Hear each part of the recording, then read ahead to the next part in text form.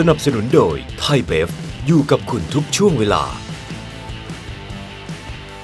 ให้อนาคตการศึกษาของเด็กไทยผลิบาน ไปกับบัตรออมสินเดบิต ดอกไม้ประจำจังหวัด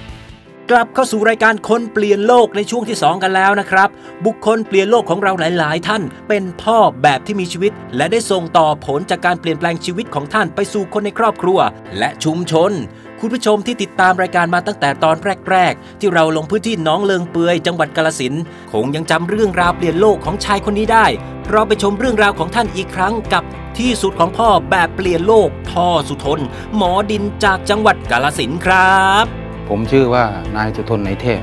ปัจจุบันอยู่ที่บ้านเลขที่ 89 หมู่ 7 บ้านโคกสำเริงตำบลสามัคคีอำเภอลองคำจังหวัดกาฬสิน โอ้โหปัญหาใหญ่ในชีวิตที่เจอคืออะไรบ้างครับ ครับเมื่อก่อนผมชกมวยมาก็ประมาณ 70 ไฟต์80 ไฟต์ชกมวยก็รายได้รายได้ดี แต่ผมไม่มีเงินเก็บไม่มีเงินเหลือ คือคึกขนองอะไปกับไปกับความสนุกสนาน ไม่ได้คิดถึงอนาคตไม่ได้คิดถึงชีวิต ไม่ได้คิดว่าเออ เรามีครอบครัวเรามีลูกเรามีเต้าไม่ได้คิด คิดแต่สนุกอย่างเดียว ก็พอดีช่วงก่อนจะเที่ยงประมาณห้าโมงกว่าไปไปหาเที่ยง ขี่รถเข้ามาในหมู่บ้านเด็กมันวิ่งตัดหน้า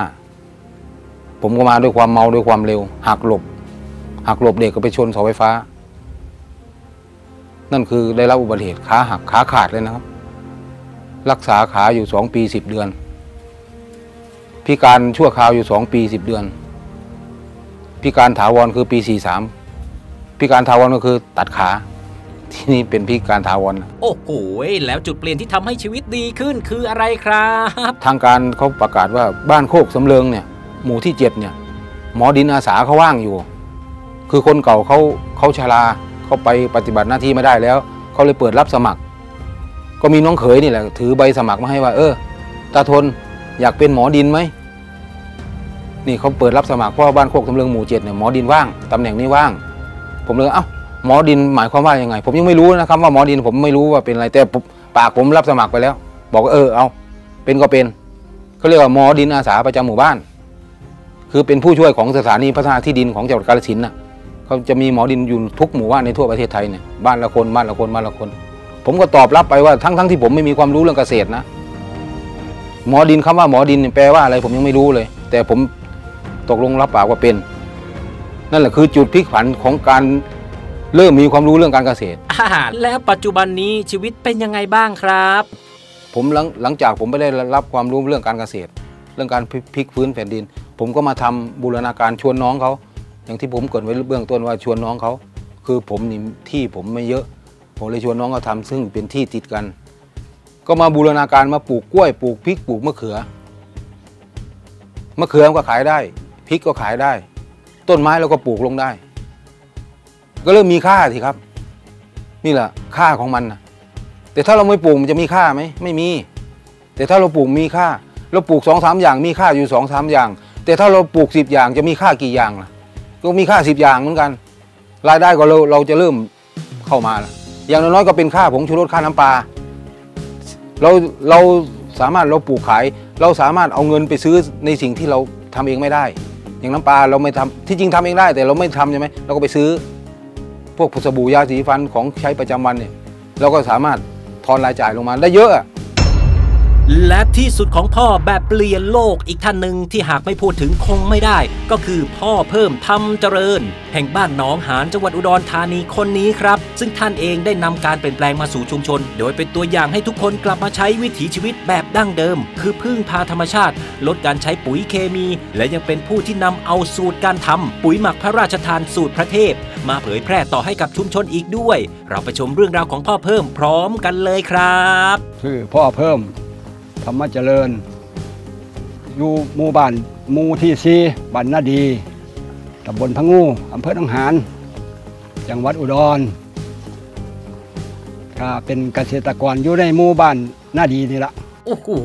ปัญหาใหญ่ในชีวิตที่เจอคืออะไรบ้างครับความเป็นอยู่ของหมู่บ้านนี่แต่ก่อนตั้งแต่พอยังเป็นหนุ่มอยู่ คือหมู่บ้านของเฮานี่แหล่งน้ำทั้งหมดนี่มันสิบ่มี แต่ว่ามีพื้นที่สำรองไว้อยู่แต่ว่าแหล่งน้ำ บ่ว่าห่วยหนองลำคลอง มันสิน้ำนี่สิบ่มีหน้าแรงมาปุ๊บสิบ่มีน้ำเลย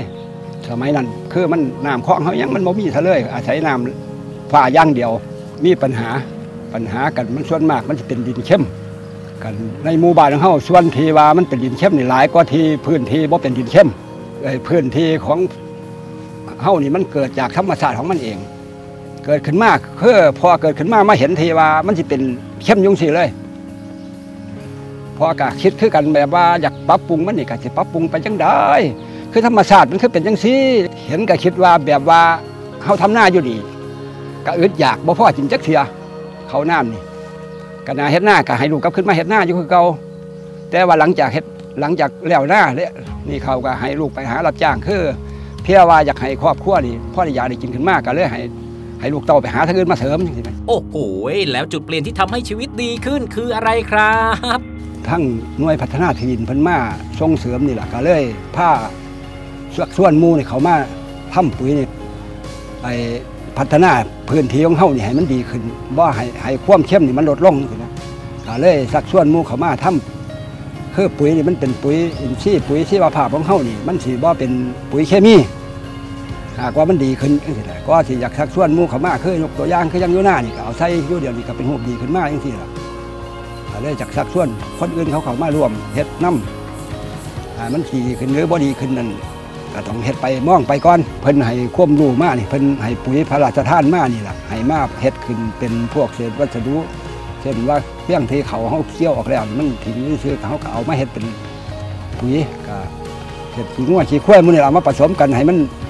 เป็นปุ๋ยขึ้นแล้วก็พวกน้ำมักชีวภาพนี่ เขามาหดปุ๋ยนี่หรือว่าเฮาสิอยากเอาไปสีต้นเขาเราก็ได้น้ำมักนี่ ให้มันดินมันดีขึ้นจังว่าเดี๋ยวนี้มันกระต้นเขาก็ถือว่ารู้สึกว่าดีขึ้นมาก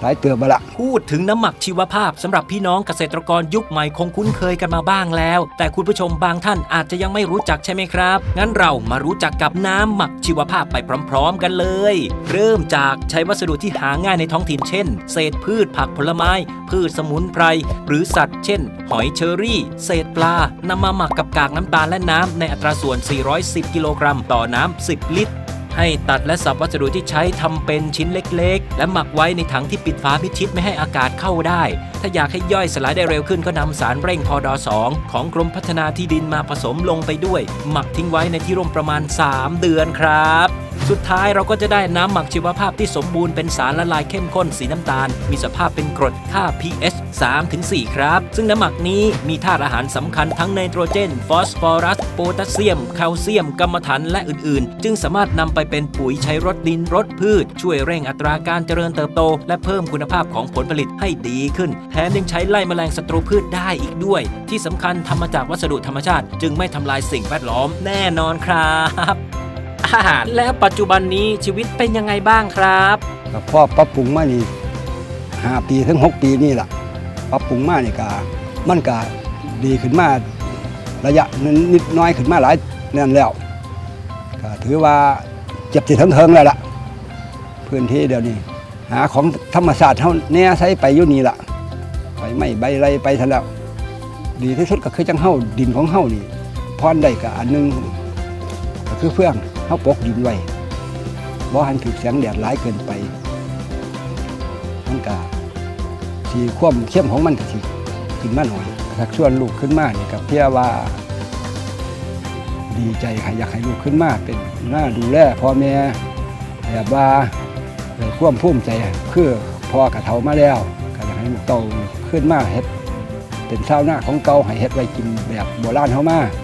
คันลูกเต้าขึ้นมากก็เกิดพ่อแม่ ยังมาลูกเต้าก็จะได้มาดูแลพ่อก็เลยภูมิใจดีใจยุ่นละ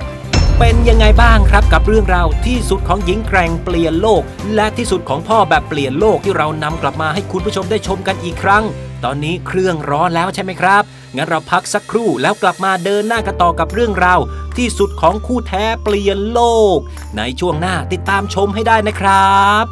ผ่านมาได้ยังไงก็คือกำลังใจจากพี่หมูแล้วก็จากยาย ส่วนหนึ่งนะคะ แล้วก็อีกอย่างหนึ่งคือเมื่อวันที่คุณชายเนาะเออต้องแบบอันเนี้ยคุณชายคือคือให้ชีวิตเราอะนะครับก็เลยคิดเปลี่ยนแปลงตัวเองมาทำอันนั้นนิดอันนี้หน่อยครับผมครับบางทีก็ทดลองบ้างบางทีก็ได้ผลไม่ได้ผลอะไรบ้างก็ไปด้วยกันครับผมติดตามชมช่วงหน้าครับ